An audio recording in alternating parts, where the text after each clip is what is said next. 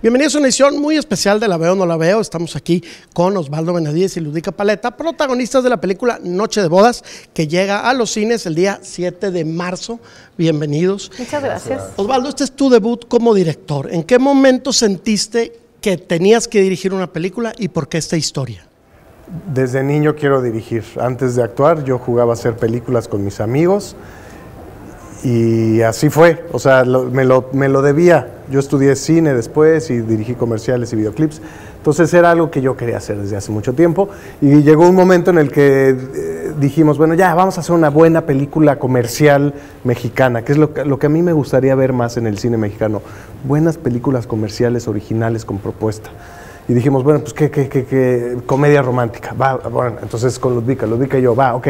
Yo no la iba a dirigir, no la iba a escribir, pero así pasan las cosas. Esto fue hace 12 años y Ludvika está en este proyecto desde hace 12 años. O sea, el primer telefonazo fue a ella y dijo que sí. Dije que sí. Muchas está. veces dije que sí. Y te vuelvo a decir que sí. Pero primero te, te pones. ¡Ah! Ya dijo que sí, aquí.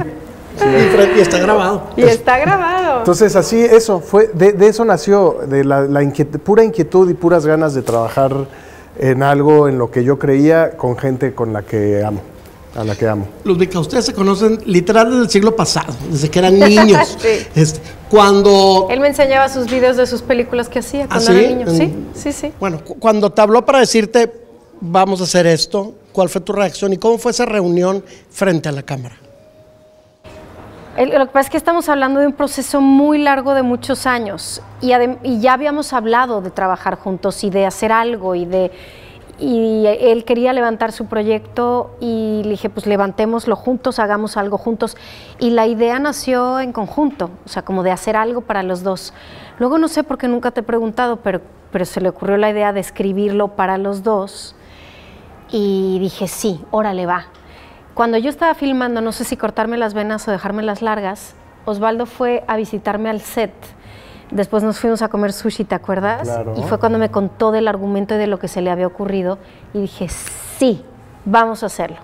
Y la verdad es que yo en la parte creativa no, no me metí porque él tenía su idea y porque él fue el que desarrolló el guion y, y durante muchísimos años lo estuvieron escribiendo y todo lo demás, bueno, pues es historia a lo largo de 12 años, pero, pero siempre estuve ahí. Hace un año y medio me habló y me dijo, ya tenemos casi todo el financiamiento, se va a hacer, ¿qué onda? ¿Le entras? Y dije, ¿cómo no le voy a entrar si te llevo a esperar? Ay, sí, casi de que, ¿cómo me estás diciendo que... Te tenía como novia de pueblo. ¿Cómo que vas a- te vas a casar con alguien más? ¿Cómo que si le sigo entrando, no? Yo no me imaginaba que otra actriz hiciera ese personaje. Entonces, pues aquí estamos. Osvaldo, te hablábamos antes de, la entrevista de que esta película me recuerda mucho a una comedia que se llama Todo Mal, que maneja también la farsa, que maneja este tipo de- de humor donde la liga se tiene que estirar hasta el punto exacto para que no se rompa. ¿Cómo logras ese balance ahora como director? Bueno, cabe mencionar que Todo Mal la dirigió y la escribió Isa López. Y desde entonces, cuando Isa me ofreció, estábamos haciendo una obra que se llama Duele, cuando Isa, ella y yo, que de hecho trajimos a Monterrey, cuando Isa me ofrece un personaje, yo no quería ese, quería otro personaje, entonces empezó un diálogo con Isa de por qué yo quería ese personaje, y luego empecé a opinar sobre su guion y de pronto estábamos trabajando juntos en todo mal, y me dio el personaje que yo quería. Eh, pero se creó esta amistad, complicidad, donde era claro que teníamos muchos puntos de encuentro, muchos puntos en común, sobre todo en el sentido del humor, ¿no? Terminamos todo mal, yo tenía un guion de Noche de Bodas, una versión muy distinta a la que se filmó, que no funcionaba, se la compartí a Isa, me dijo, sí, no, no, ojalá, y luego desempolvé un argumento muy viejo, de, diferente de, Noche de Bodas, o sea, una- un argumento muy distinto, lo leyó y me dijo, "Va, es por acá. Entonces nos echamos 15 días de como de tallercito para hacer la escaleta juntos. Este, eh, de día hacíamos un proyecto de ella, de- en la tarde hacíamos eh, Noche de Bodas. Y por eso como que se cuece la película con un humor muy parecido a Todo Mal, porque pues claro que está Isa ahí metida, pero también mi humor es parecido a eso y también yo no me quiero colgar ninguna medallita, pero también mucho de mí está metido en todo mal. Entonces, pues es, es, es, es obvio, ¿no? Y, aunque yo haya escrito el, argumento solo, el, perdón, el guion después de esa escaleta, el, el, guion es de Isa y míos, porque sin ella no se hubiera destrabado y no existiría. O sea, hay hasta diálogos que ella sugirió de la escaleta que pues, se colaron hasta el guion, porque pues es Isa López, lo hace muy bien. Ludvika, tú has hecho tele, has hecho cine, eres, haces mucho teatro, eh, drama, comedia, todos los géneros sabidos por haber. Eh, ¿Cómo logras ese balance en tu carrera para ver qué es lo que sigue, qué es lo que debes elegir? Porque imagino que te deben de llegar mil y un propuestas. Afortunadamente sí. Mm, yo creo que es una cosa de intuición. Eh, por ejemplo, hay guiones que me gustan mucho, que el personaje me gusta y digo, todo bien, pero no es para mí, no, no, no lo quiero hacer o no siento en este momento que sea lo que tengo que hacer. Y luego mi representante me dice, pero si está buenísimo para esto y otro y otro. Bueno, déjame pensarlo. Y lo pienso y digo, no, es que no me veo ahí. Por eso te digo que es una cosa de, de un sexto sentido que al que le hago mucho caso. Eh, y bueno, a veces me equivoco también. A veces digo, híjole, ¿cómo le invertí tiempo a eso? Y, bueno, pues ni modo. También... Eh, no todo lo que hago me ha gustado. Siempre piensas que entras a un proyecto con, con, con la expectativa muy alta y, con, y, al final, sobre todo en el cine, la, el resultado eh, la mayoría de las veces está fuera de tu control, pero pues así, con, con intuición. Esta pregunta es para los dos. ¿Qué tanto se ven ustedes mismos en los personajes de la película? ¿Qué tanto hay de ustedes ahí y qué tanto son totalmente diferentes? Tú empiézale. Mm, pues a ver, evidentemente son unos personajes creados, eh, o sea, ficticios, pero pues hay mucho de los dos porque están escritos para nosotros. Incluso no sé si tú escribiste alguno de los diálogos pensando en, en mí y en cómo lo iba a decir, pero, pero a la hora que, pero y si no, lo dije a mi manera. eh, pero eso, no, sí, o sea, a la hora de que tú lo dices, pues hay mucho de ti en eso. O sea, tú haces tuyo a tu personaje porque, porque si lo hiciera otra actriz, ese personaje sería completamente otra interpretación, sería completamente diferente. Entonces, yo siempre digo que hay mucho nuestro, o sea, de, de los actores en nuestros personajes. ¿Tú qué opinas? Yo opino que sí, sí, o sea, yo escribí y es, estaba escuchando a Ludvika decir los diálogos y hay un par de diálogos de, que conociendo el timing cómico de Ludvika yo sabía que le iban a quedar precisos, así perfectos y pasó. A, veces pasaba eso, a veces llegaba ella con una propuesta mucho más eh, impresionante a lo que yo tenía pensado. Y además las, los, los problemas, los temas que traen los personajes, son temas que todos tenemos, ¿no? Como el miedo, pues el miedo al amor, el, el, las ganas de no aceptar ciertas cosas de ti, de lo que sientes, el, el, guardar las apariencias, el qué dirán y el ir por la vida completamente confundido. Creo que a eso nos pasa a todos, entonces es muy fácil agarrar de tu experiencia para vaciárselo al personaje. Ahora, sin ventanear gente, ni buscar culpables, ni inocentes, ¿Han tenido alguna experiencia en alguna boda que han ido que digan, híjole, esta boda, pero nadie se lo creería, debería ser una película? ¿Les ha pasado uh, algo que uh, puedan compartir? No digan el nombre, vamos a en proteger al inocente. En la mía, yo te voy a contar algo y voy a proteger al, al involucrado porque es alguien muy famoso. En mi boda se empezaron a pelear en una de las mesas eh, un director de cine bastante famoso con el novio y de repente ¡pa! le metió un cachetadón y el otro se cayó, se abrió la mesa, papelón. Esa sí que era una, una escena digna de filmarse. ¿A ti no te ha pasado nada así? Yo, bueno, a ver, rápidamente. En, en, la, en la, primera boda de, de, mi hermana Valeria, que es mi única hermana, quien amo y adoro, eh, de pronto llega eh, el que era en ese entonces mi padrastro Jaime y me sienta alguien, así una mujer hermosa, así que la volteo a ver y digo, ¡Oh! se me caen las nalgas al piso, me la sienta y yo estuve así sobres de ella y bailamos y somos la atracción de la fiesta. Eh, y, no era mujer. y, y, me dice, me dice No sabes quién soy, ¿verdad? Era mi, era mi, mi- pues era como mi primita de, de- una, que- no, no- no mi prima de sangre, pero era la, la- la hija de, de una amiga de mi mamá. Era mi prima, que yo la veía de dos años, chiquitita, y de pronto llega una mujer y pues ese fue mi... mi- Y dicen que a la prima se, se le escribe. se le escribe. Oye, en este programa tenemos una dinámica siempre que les preguntamos a todos nuestros invitados cuáles son sus cinco películas favoritas y por qué.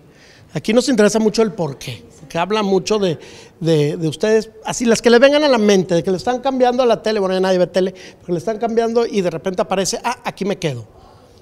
O que están de mal humor y que esta película me va a levantar. Venga, tengo dos en la cabeza, nada más. Una, eh, Eternal Sunshine of the Spotless Mind, peliculón. O sea, la he visto varias veces y cada vez siento diferentes cosas, pero siento mucho, pero no sé, me trae como una cosa de nostalgia, de, bueno, en fin, me parece genial. Los dos además me parece que están geniales y Jim Carrey parece que a mí nunca me había sorprendido como en esa película. O sea, yo estaba acostumbrada a ver a, ver a Jim Carrey riéndose y haciendo unas cosas de comedia que no particularmente me gustan mucho y cuando lo vi en esta película dije, wow, Jim Carrey es muy buen actor. Bueno, otra es eh, You've Got Mail, que es una película de 1998, o una cosa de esas. Y la, razón por la que me encanta, además de que las películas, las comedias románticas de Meg Ryan me fascinan, bueno, Notting Hill es otra. eh, eh, yo vivía en Nueva York en esas épocas porque estaba estudiando y vivía en ese, en ese barrio. Y entonces el cafecito al que ellos van, la librería, la calle en donde se comen el hot dog, el edificio, todo me resultaba tan familiar. Y además la vi en el cine por donde ellos pasan y se meten al cine, entonces me parecía como un película. Y lo Notting Hill, este, que bueno, otra vez, comedia romántica, súper bonita, romántica, este, la vi en mi adolescencia, entonces también me remite como a esos momentos. Y ahorita me acuerdo de otras dos. ¿Tú? Yo, a ver, que me vengan a la mente, porque esta pregunta es muy ingrata, porque luego te ves respondiendo, le dices, "Uy, qué tarado que no me acordé de esta y de esta otra. Entonces, me da coraje responderla, pero la voy a responder con mucho gusto para ti, Eduardo.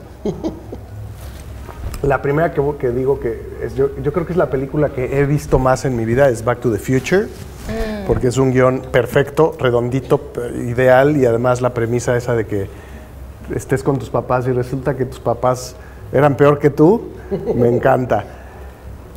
Eh, al- Paul Thomas Anderson, este, para Noche de Bodas, referencias muy importantes para mí, como no porque los trataba de usarlas y replicarlas, sino simplemente porque eran una guía, así como una, una estrella del norte, así se dice, estrella del norte, con la que se, se- se una guían. guía. Este, eh, Boogie Nights y sobre todo eh, Punch Drunk Love. ¿no? que son, son como ácidas, pero dulces, pero oscuras, pero co- con, mucho amor y dolor al mismo tiempo. Este, me ganaste Notting Hill porque es de mis comedias románticas favoritas. When, Harry- When Harry Met Sally también es así. es, es- es que para mí las comedias románticas buenas, que, no, que en mi gusto no son tantas, me, me transportan a un lugar maravilloso. Me hacen sentir bien, me, me- me calientan el corazón. Y por eso, por eso Noche de Bodas, porque quería meterme en ese universo de, ay, qué bonito, qué bonita es la vida. Eh, ¿qué, qué otra? Bueno, este Underground de Custurica también es una peli que en cuanto le pongo play, eh, ya empiezo a llorar porque habla de la amistad y de la traición y cómo la, la- la fidelidad el- este, es ciega a veces y lo, lo crueles que podemos ser los seres humanos. Y, otra que me hace llorar así también desde que le pongo play es Ocho y medio de Fellini, que es de Fellini, pues es de mis favoritas que, pues no sé, me veo reflejado en su locura. Digo, él es un director, es un maes- era un maestro, pero su- su- sus cuestionamientos, sus temas, pues no, me, me identifico. Por eso es tan buena esa película. Y podría seguir toda la noche nombrándote películas. No, Love Actually también me fascina porque además las comedias inglesas me encantan. Este, Lost in Translation me parece a mí una película bellísima que también me lleva a lugares muy bonitos y Sofía Coppola me parece una genia. Y, y también, o sea, como que podría yo seguir y seguirme acordando. Empiezan a salir, ¿no? Empiezan a te salir. acuerdas y salen. Que no necesariamente son las favoritas, ¿no? Porque luego te vas acordando de muchas, pero, pero las que regresas una y otra vez. Y yo creo que es eso, por lo que sientes, porque al cine vamos a sentir.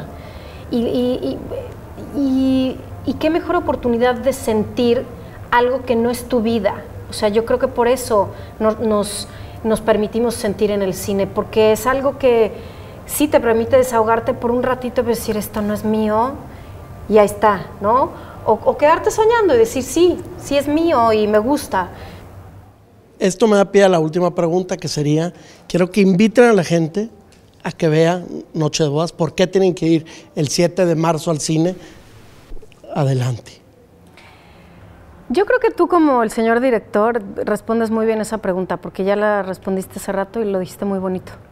Ok, no sé a cuál te refieres exactamente, pero ahí les va. No, tiene, Noche de Bodas es una comedia romántica de enredos, ácida, con mala leche, eh, que está diseñada para ser un, un espectáculo cinematográfico. O sea, yo como buen espectador de cine quiero ir a la sala e invertir el tiempo y el dinero que invierto y quiero que me lo retribuyan. Quiero sa- salir de ahí agradecido después de vivir una experiencia cinematográfica y Noche de Bodas está pensada de esa forma. De hecho, todo lo que han visto, toda la campaña, todos los trailers, todo, todo, todo, no Es les, una trampa. No, no les estamos, no les estamos regalando las grandes sorpresas que tiene la película precisamente para que usted vaya, usted, Usted usted, vaya. allá en casita, vaya Ya y se dormir sorprenda y se sorprenda.